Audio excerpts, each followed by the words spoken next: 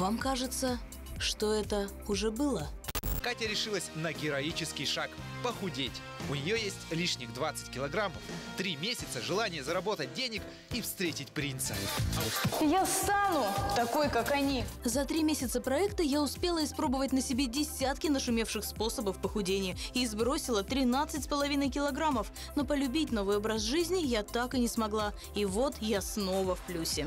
В этот раз с причинами набора веса поможет разобраться профессиональный психолог. Диетолог разработает специальный рацион, а тренер подберет адекватную физическую нагрузку. За три месяца я скину столько, сколько позволит здравый смысл, без вреда для здоровья. Мы адаптируем процесс похудения к реальной жизни обычного занятого человека со средним уровнем дохода. И вы будете за этим наблюдать. Вот он мой тренер.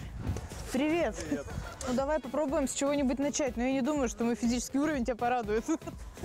Ну смотри, у нас есть площадка, когда мы приходим, мы не знаем вообще. Все думают, что я знаю только турник, но как я девушка, женщина, буду подтягиваться на этом турнике. Моя задача показать, как этому человеку, не стесняясь в первую очередь себя, выйти на площадку в тот же вечер, когда никого нет, утром, когда тем более никого нет, все в попыхах, не обращая внимания, убегают на работу, да, ты должна будешь соблюдать примерно минимум 15-20 упражнений в день, это минимум. Утром должна быть зарядка обязательно. Мы покажем, как использовать подручные средства, которые тебя окружают. Из разряда таких вот упражнений я буду составлять тебе комплексы, и мы будем работать со своим собственным весом тела на таких уличных площадках. Непривычно и неловко, зато совершенно бесплатно, бодро и весело. Так что мне остается довериться профессионалу. Я впервые после пятилетнего перерыва снова иду к доктору, который когда-то помог мне похудеть довольно успешно.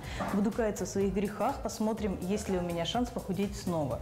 У вас сейчас нет ожирения как такового. У вас индекс массы тела ну, приблизительно 28,7, 28 и 5 килограмм на метр квадратный, то есть менее 30.